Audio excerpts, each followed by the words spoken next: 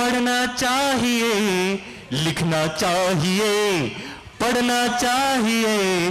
Romance का भी एक लेक्चर होना चाहिए। ओहो romance period love and dance period completely out of context नहीं नहीं नहीं. कहने का मतलब ये है कि it is an action drama there is a lot of action there is a lot of drama लेकिन हमारी फ़िल्म में कॉमेडी भी है लेकिन रोमांस भी भरपूर है. तो आप वैलेंटाइंस डे को रोमांस को बिल्कुल मिस नहीं करेंगे अगर आप अपनी गर्लफ्रेंड या बॉयफ्रेंड को अ, लेके जाएँगे गुंडे देखने.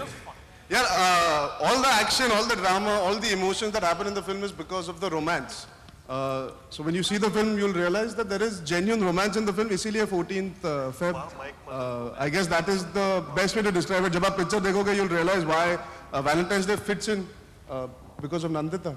मतलब नहीं नहीं और वैसे How भी many people will get to spend Valentine's Day with Priyanka Chopra? तो कितने बेचारों की जो ड्रीम थी वो इस बहाने पूरी तो हो जाएगी they get to spend Valentine's Day with Priyanka Chopra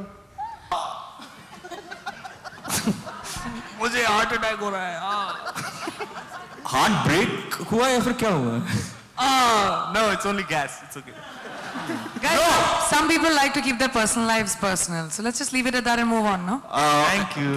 हाँ हाँ हम सब उसकी फैमिली कुछ है मम्मी पापा और भैया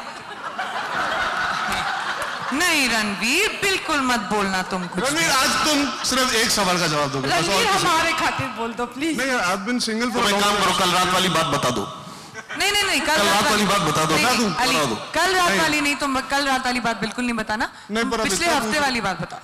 पर इतना पूछ रहे रणवीर तो बता नहीं रहा मैं कुछ क- क- पिछले हफ़्ते वाली बताना कल रात वाली। कुछ सनसनी बता दो जो तुम अभी बैक स्टेज कर रहे थे बता दो। सनसनी हाँ वो तो बैक स्टेज वाली बता सकते हो तो मैं तो फ़र्स्ट स्टैंडर्ड से करते आ रहा हूँ।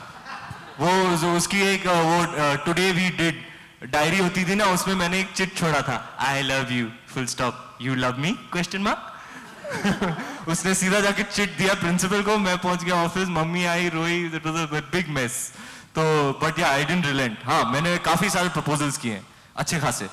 अर्जुन आप? नहीं यार बचपन में मैं काफ़ी फैला हुआ था साइज़ वाइज तो। मैं बस, वो संभालने में, वो समेटने में लगा हुआ था and finally I started concentrating on work तो मैंने इन सब चीज़ों पे ध्यान नहीं दिया था, लेकिन अब छोकरा जवान हो गया है।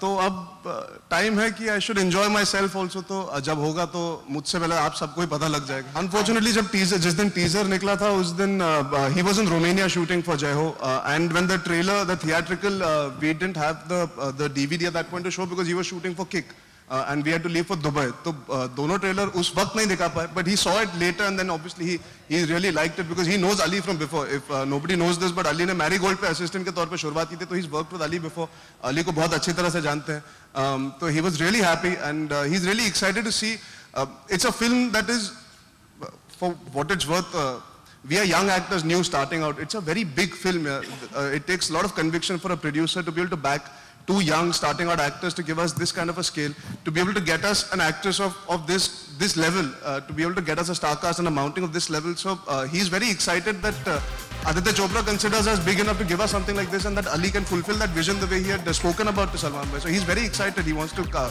he wants to see the film and I hope to show it to him before uh, the world sees it. Vatar uh, in the middle of May, uh, at the end of May actually, or uh, Vatar is just away from Vai, it's close to Vai. Uh, बहुत गर्मी थी train का जो पूरा sequence आप देख रहे हो we got the permission to shoot on a train over there it was about 50 degrees the weather was very hot it was 50 degrees और हम रबर जूतों के साथ काम कर रहे uh, काम कर रहे थे उसके बावजूद पैरों के तलवे जल रहे थे हमारे। So I think that was one thing that I always remember कि we manage to pull off a huge sequence shoot for 8 days continuously and have a blast doing it That was thanks to, I guess, the energy that Ali brings and the clarity that Shyamji had as an action director. और safety का बहुत ध्यान दिया ताकि we don't ever have to worry about uh, लग जाएगी क्या होगा. We just enjoyed ourselves. Moving train के ऊपर उछल कूद करना uh, जो बच्चे होते unko उनको मज़ा आता है तो हम छोटे बच्चों जैसे ही rahe कर रहे थे. Any other experience?